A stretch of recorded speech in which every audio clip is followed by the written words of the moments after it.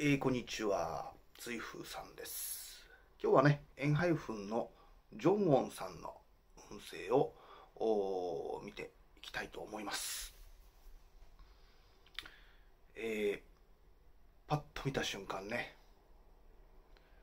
ちゃぶ台返し返しで結婚すると、ね、いうことで、なんのこっちゃうみたいなね、ことでございますけども、まあ、京都出身の旦那さんがいました。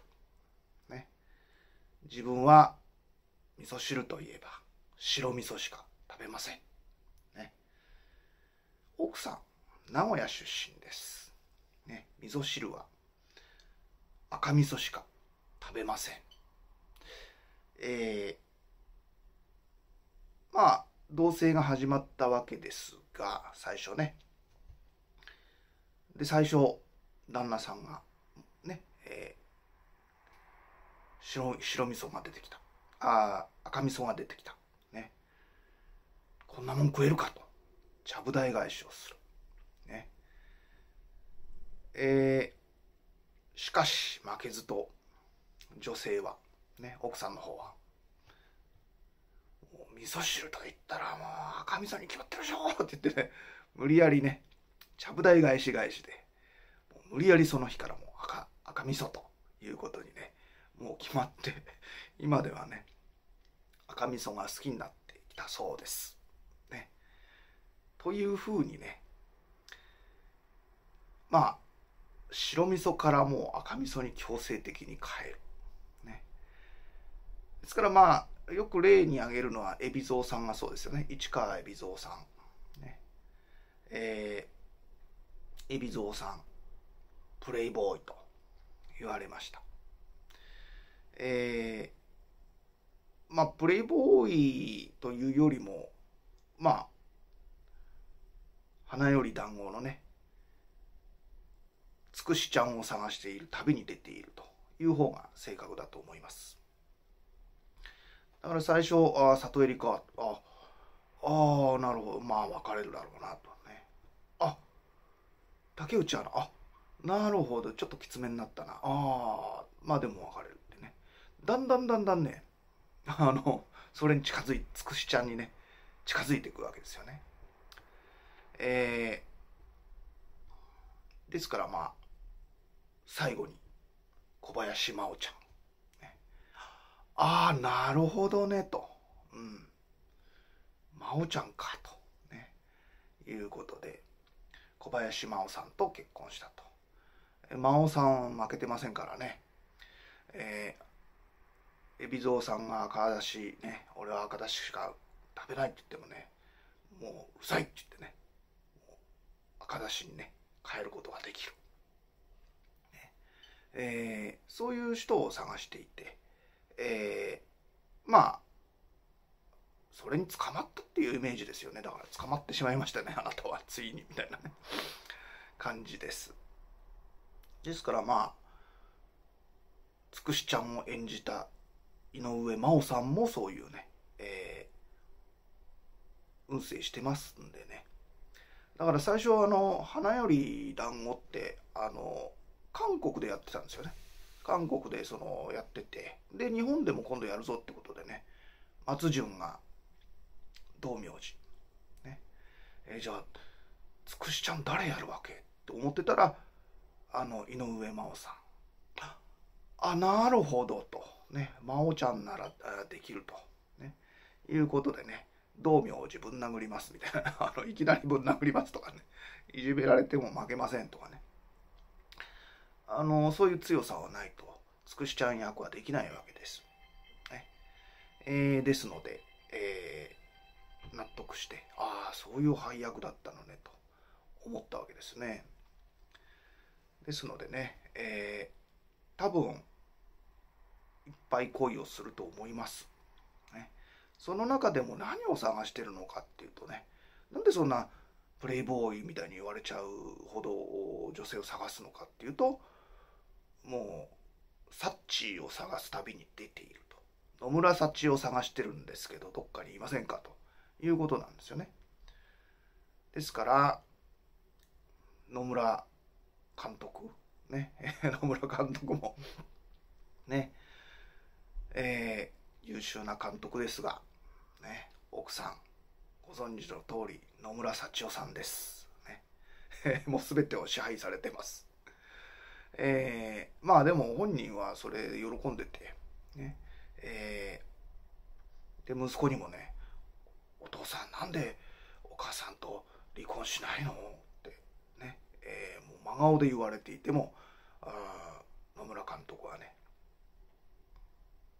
離婚しないんだよって言ってね、言って、もうむしろ好き、ね、えー、サッチのことが大好きみたいなね、死ぬ時もやっぱ大好きって言って、えー、ね、で、その後、後を追うようにね、亡くなられましたけどね、うん、えー、そういうパターン。です。のでね、あの、こういう方ってね、うん、まあこれからどんな恋愛していくのかわからないですけども、えー、真央ちゃん探しの旅、ね、井上真央ちゃんか、小林真央ちゃんか、野村幸男か、ね、そういう旅に出るということだと思います。えー、そしてね、やっぱり、昨日トシちゃんね、やってね、田原俊彦さん、ね、まあ、実は同じ運勢です。ですから、トシちゃんの目指してるものってやっぱりやっぱ偉大なアーティストなんですよね。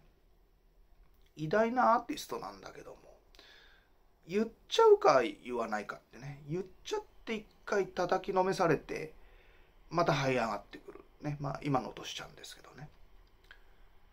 言わないでそのままねもうじっと耐えてカバン持ちかなんかやってね。総理になる。菅総理。菅総理もこの運勢ですから。黙ってねえーカバン持ち。安倍総理のカバン持ちをねずっとやってね、えー、そういう人かとみんな思ってるけど全然違います。もう最初からね総理をね狙ってました。あの人がね。で私からするとねみんなに今頃気づいたか君らはみたいなね。あのそんな感じですけど。はっはっはみたいな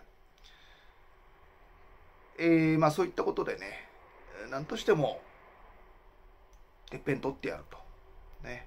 権力握ってやると。まあ、要は権力なんですよね。だからまあ、サッチと一緒に木刀を担いで、ほら、姉貴、のしてきましょうよ、みたいなね。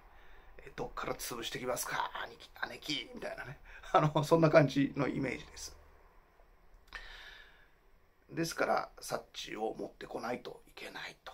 ね。だからまあ、ヒントはそのね、ジョンウォンさんのお母さん。ね。お母さん見ればね 多分わかると思います、えー、ですからね、えー、そういう女性原理っていう話をね今日になりましたけどね。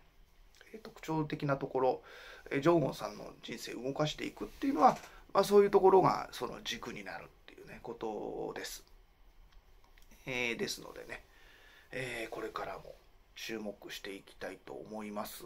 え恒例の20とは20では誰を選ぶかと言いますと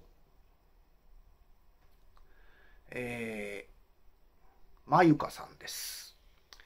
えー、まゆかさんのような情熱的な女性、ねえー、そういうね火のように燃える、ね。